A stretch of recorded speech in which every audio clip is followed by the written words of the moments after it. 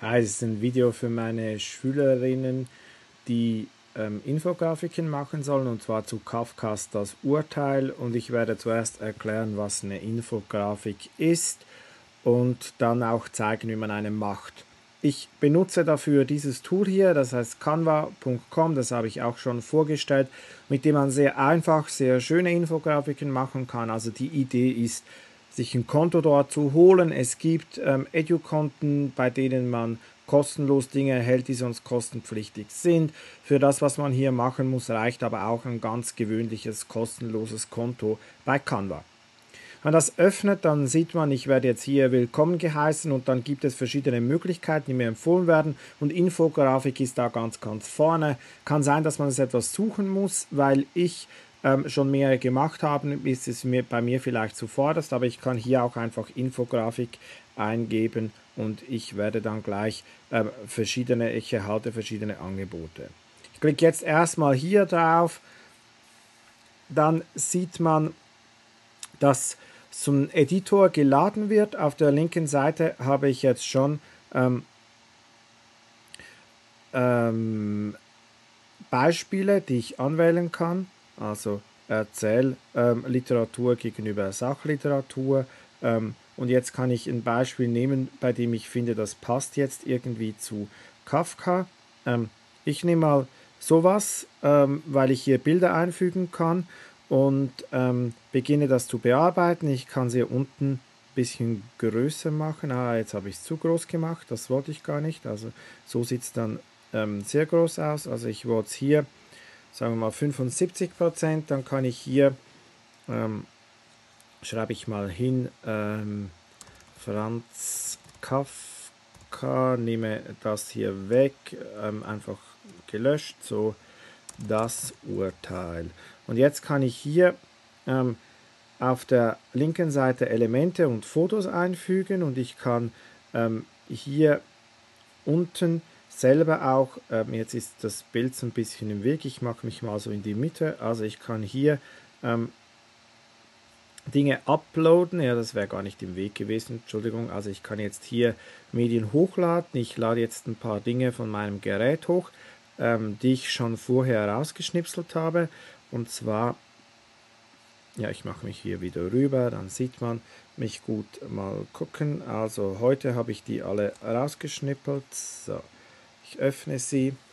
Und zwar habe ich die rausgeholt aus ähm, den Adaptionen zum Comic. Ähm, das ist ähm, das Urteil von Moritz Stetter. Und dann habe ich von Robert Crump, das habe ich auch schon im Unterricht gezeigt, da habe ich auch noch Beispiele. Ähm, also ich kehre hier zurück zu ähm, das Urteil und jetzt habe ich hier ein Bild, ähm, was eigentlich als Titel schon reichen würde. Also nehme ich das, das ist jetzt äh, von Stetter, so. Füge ich das hier mal ein, nehme Franz Kafka so rüber. Ähm, und Sie sehen, das ist dann einfach Drag and Drop, wie wenn das jetzt irgendwie ähm, ähm, PowerPoint wäre. Dann kann ich hier ähm, Text hinfügen und äh, zur Frage, was ich eigentlich zuerst beantworten wollte, was ist eine Infografik? Eine Infografik ist eine Grafik, also ein File, das man im Netz teilen kann, was wesentliche Informationen zu einem Thema mir kompakt vermittelt. Also Informationen grafisch vermitteln auf einer Seite. Das ist nicht eine Blogseite, das ist nicht eine PowerPoint, sondern es ist einfach ein File, was ich mir so im Netz anschaue und was ich teilen kann. Ähm, also, jetzt schreibe ich hier mal hin, ähm, die Erzählung von Kafka wurde mehrmals als Comic, ähm, wurde schon zweimal komplett als Comic adaptiert.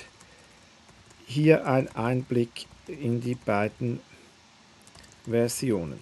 So, Jetzt mache ich äh, links die eine, rechts die andere. Also ich füge hier ähm, ein neues Bild hinzu. Nehme mal das hier so.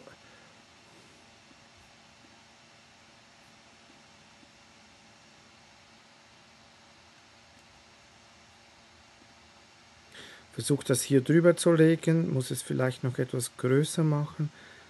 Ähm, so.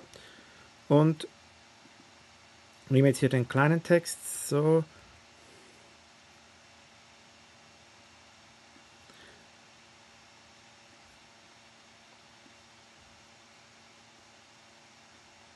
Ja, lass es mal so und schreibe ähm, jetzt hier mal eine Einführung. Also Moritz Stetter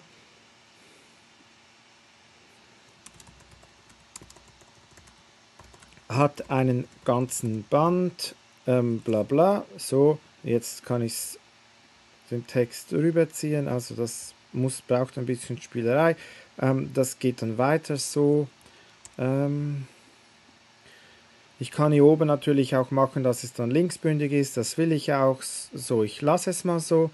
Ähm, ich füge hier unten noch ein zweites Bild von Städter ein. Das hier so, Chuck. Ähm, ist es da drin. Ähm, dann kann ich, also hier oben kann ich auch leicht Farben anpassen. Also ich kann, ich sehe, das wird jetzt in Dokumentfarben angezeigt. Ich kann das dann, also Fotofarben, jetzt weiß ich nicht genau, weshalb dieser Upload, weshalb das jetzt nicht farbig geworden ist.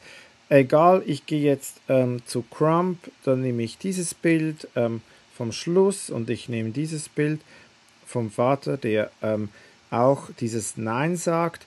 Ähm, dann hätte ich die Bilder eingefügt, die habe ich jetzt ganz selber genommen. Ich könnte auch Bilder von hier nehmen, also hier gibt es Grafikelemente, also ich könnte jetzt hier zum Beispiel nach einem Vater suchen ähm, oder mal auf Deutsch, ich weiß nicht, ob es Englisch oder dann hätte ich hier einen Vater und ein Kind. Vielleicht passt es jetzt zu Kafka nicht so besonders gut, die Bilder passen hier besser. Ähm, und mit Stetter und Crump habe ich Ihnen jetzt auch schon Hinweise gegeben, wo Sie Bilder finden. Wenn Sie ähm, da nicht fündig werden im Netz, dann können Sie gerne mit mir Kontakt aufnehmen.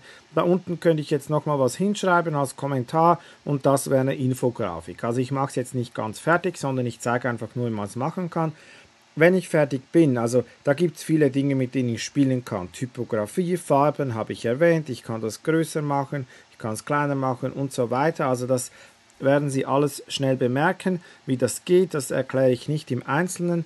Und dann können Sie es hier runterladen und Sie können wählen, soll es ein PDF werden, soll es JPEG, PNG, Sie können es auch als Video runterladen und wenn Sie jetzt in einer Gruppe zusammenarbeiten, das muss man vielleicht auch noch sagen, können Sie hier teilen und wenn Sie jetzt diesen Link hier weitergeben, dann kann die nächste Person, wenn die einen Canva-Account hat, kann die an ihrer Infografik weiterarbeiten. Also so wie Google Docs oder wie ein Word-Dokument, was sie weitergeben.